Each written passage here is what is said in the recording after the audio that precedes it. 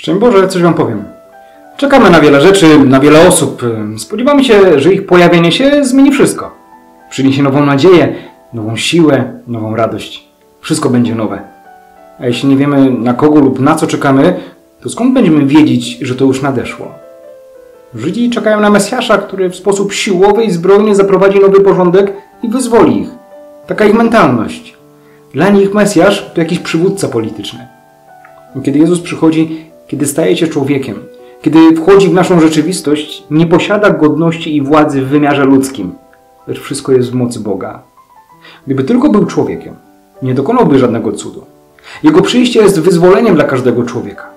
Bo my, choć nie jesteśmy w niewoli, nie jesteśmy ograniczeni fizycznie, często dajemy się zniewolić i ograniczyć duchowo.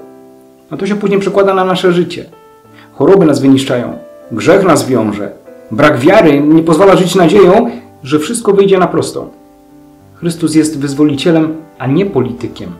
Jego przywództwo nie ma najmniejszego śladu przemocy i siły. Jego siłą jest miłość i służba. On przychodzi do nas jak do zranionego zwierza i swoją łagodnością przekonuje nas, że chce nam pomóc. Bóg przyszedł na świat i zbawił go osobiście. Dokonał tego, ponieważ ukochał świat i każdego z nas. Mógł zrobić to inaczej niż przez ofiarę na krzyżu. Mógł wykorzystać kogoś innego, proroka lub anioła, a jednak zrobił to samodzielnie, bo jesteśmy zbyt ważni dla Niego. Kim więc jest syn Dawida?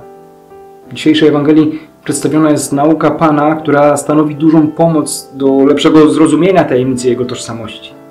Jezus stopniowo ukazuje w Ewangelii swoją tożsamość, ale wszystkie tytuły, które wobec Niego są stosowane, są poprawne, są jeszcze niepełne. Samo bycie synem Dawida, Mesjaszem czy posłańcem Bożym nie odkrywa całości misji. Dopiero fakt, że Jezus jest synem Bożym, otwiera wszystko przed nami.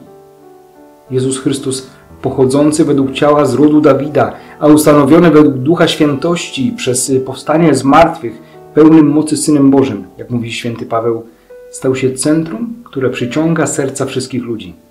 A przez to delikatnie przyciąganie realizuje swoje panowanie nad wszystkimi ludźmi, którzy kierują się ku niemu z miłością i ufnością. Faryzeusze nie chcieli przyjąć nauki o Jezusie jako o synu Dawida, odnosząc się do niego z nienawiścią.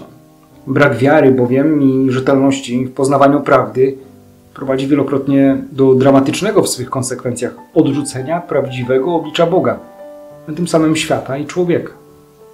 Często deklarujemy w słowach, że tak, że On jest moim Panem, ale czy za tą deklaracją idą czyny?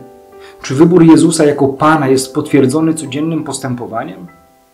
To ważne pytania, bo ustawiają nasze myślenie, nasze decyzje na teraz, a zarazem wyznaczają kierunek na naszą przyszłość. Jeśli Jezus dziś jest Twoim Panem, jeśli to On będzie pierwszym i najważniejszym, to identycznie będzie w całej przyszłości, tutaj na ziemi, a nade wszystko wieczności. Jest On bowiem Panem życia i śmierci i Panem naszej wieczności.